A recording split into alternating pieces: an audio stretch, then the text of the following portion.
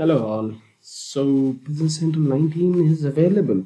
So now it's time to do some learnings on Business Central 19 and we'll start with by setting up a Docker container.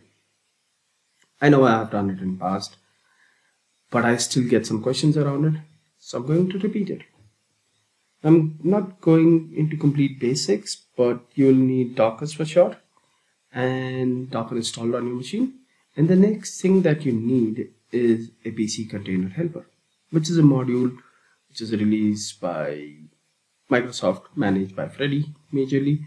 So what you can do once you are there and have Docker installed, open your PowerShell ISE as administrator and do install module.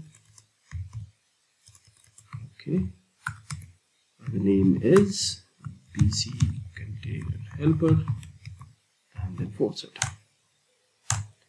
Now this command will download uh, the BC container helper module from internet and will install it on my machine. Now while this is happening let's understand what this contains.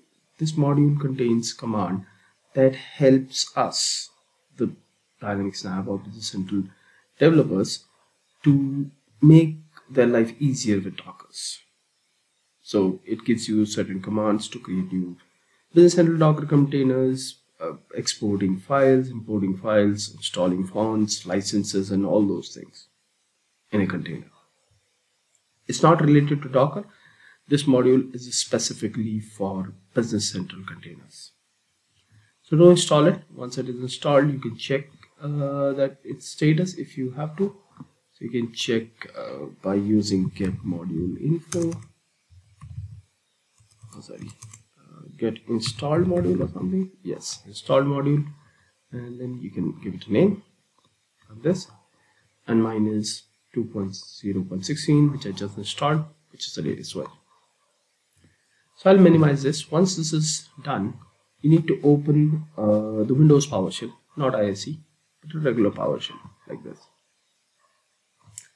And now you can use one of the commands from the BC container helper which is new BC container wizard now this is a set of steps which guides you or take you through to creating a business central container which will open a separate uh, window. And the first thing is to accept the license. You can read about the details uh, when you do it. I might go a little bit faster. The first one is accepting the license or agreement. Then it's where you want it I've zoomed this so you can't see it clearly but when you do it on your local you'll be able to see the title correctly. But this is asking where you want the container. I want it on my local. You can also choose to be on Azure VM then what kind of authentication you want to use? You want to use a username password or is you know predefined username password? Let's say username password. What is your container name? This is BC19 demo. Uh, Freddy have also added these uh, tips about naming everything. Like container names are case sensitive. So if you give the name where there are small and uh, big cases, then you need to make sure that they remain as it is. Which version you want?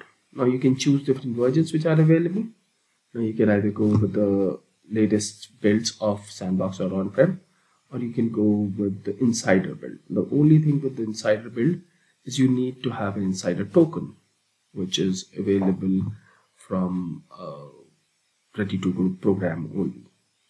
Then if you are not want the latest one then you can choose which build you want. For the demo as we are talking about business central 19 we'll pick the a. I, I want a docker container with sandbox, latest sandbox. You can pick other options also. And based on different options there will be different questions. Like if you choose a specific build then it will require you to specify the exact version of the build that you want either on-prem or sandbox. And the same rules apply for Dynamics Nav if you are still using that. Once that is selected then it shows you which version is selected. Then it asks you for the country. The default is US but you can choose others if you need it Do you need test toolkit? We have talked about it in past. It gives you capabilities to run test um, on Business Central. Do you need a premium plan? So if you don't understand in uh, SaaS model, there are two kind of plans, essentials and premium. Uh, so you can choose that. For the premium plan, you need to have a license. So I'll choose no.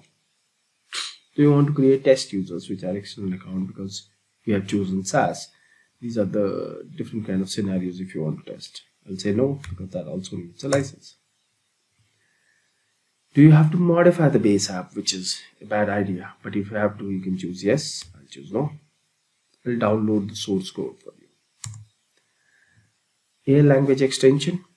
You don't need it because that is available on the Visual Studio Store.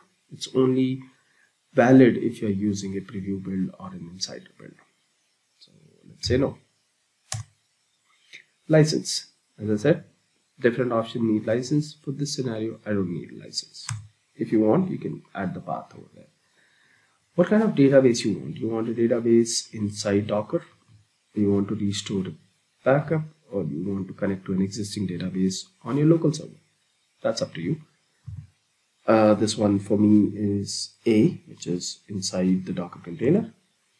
You want it multi-tenant? If you have certain cases which will only be tested on a multi-tenant container, choose multi-tenant what kind of domain name server you want to use I'll keep it default so that the docker can decide what is best for me do you want to use C, uh, SSL certificates if you don't choose A otherwise you can choose the right options. What kind of isolation? I'll let docker decide it. How much memory you need to give it to? Now there are details about it. Uh, 4 GB is for demos and 8 GB is for dev and all. So read about it as you go through here and understand what you want. We want to save the image. Now this is a very important question. If you are going to create multiple containers uh, for the same version then I would suggest to save the images. But if you are only creating it for one time and you're sure you'll not need it again uh, similar kind of container then don't save the image. I already have this image saved so I'm going to leave it blank. Otherwise you can give it a name. And then you get this PowerShell script which will be perfectly for your system which can run uh, which can build your Docker container. You can give it a path. So let's say edit right demo 1.1 uh, that's it. The extension will be automatically added. As soon as you hit enter the this file will get loaded into PowerShell ISE if you see here's a pop-up when I click here you will see that the command the similar command is here to create a docker container with this name. With all the options that you have chosen this is the command that's generated and you can just directly run it. It'll ask you for the username password because I have chosen an option to you know enter my username and password. Okay.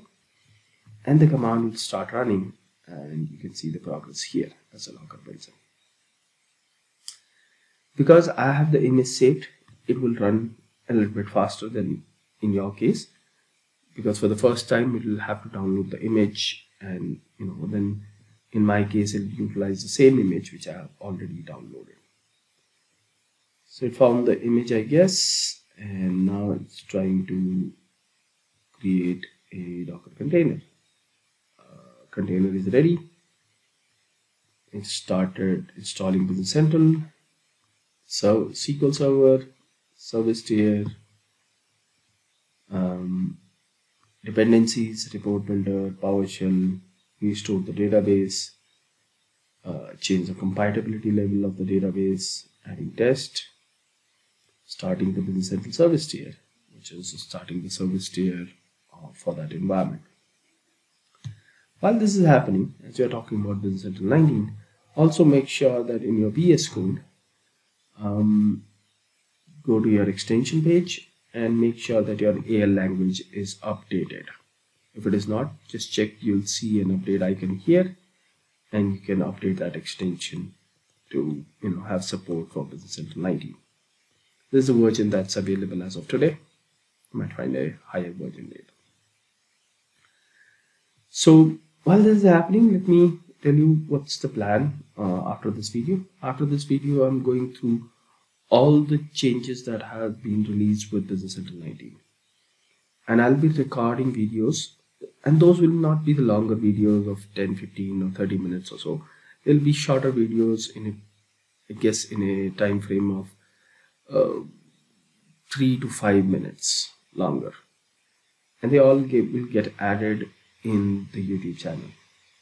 So if you haven't subscribed to the channel do subscribe it so that you keep on getting those notifications as i keep on adding those. As you can see it started it's starting the service tier. It have changed certain settings on my configuration files and all. And it's kind of ready to be used in a, in a minute or so. If you have any other you know topics which can be turned into a series of uh, videos do let me know in comments and i'll make sure that i you know i understand those and make some videos. There are some series which i've already planned. And if you are subscribed you'll you'll see the notification as those videos get published. So yeah starting tomorrow there will be more videos about what's changed in business central 19 so keep an eye on those. Uh, there will there will be a separate playlist for all these videos okay so in the meantime let's quickly check what happens when we create a new AL extension now while this is happening in the background. When I do a ALGO, you'll see 8.0, which is equivalent to Business Central 2021 release wave 2. That means that's the latest release at this point. And you'll only get this option once you update your AL language uh, extension. Once you do that, I'll create a uh, extension for you with some details here. Let's see what happened okay. So here you see the docker is created. This is the web client url that i can use to access it. And uh, now if i have to check certain settings i can do it from here. So let me quickly open that in, in window okay here i am I'll use the same username password that I used while creating the Docker container. Okay. Now, what I'll get out of this is a Central 19 Docker container for all my upcoming videos of what's changed in Business Central 19. This is CRONUS USA database, uh, demo database, and I'm pretty sure if I go into my help and support I should be able to see that this is Central 19 so this is how you can quickly create a docker container and as I was talking about images if you would have saved images you can see by writing docker images it will give you a list of images that you have. For me I have a BC190 uh, image BC184 image and then there is the baseline there are two baseline I might have to delete one of those eventually. Okay, so that's it about how you create a Docker container for Business Central 19. Stay tuned. Um, you know, subscribe to this channel. Keep an eye on this playlist where this video gets added, and I'll start posting some videos from tomorrow. Have a great day, and see you tomorrow.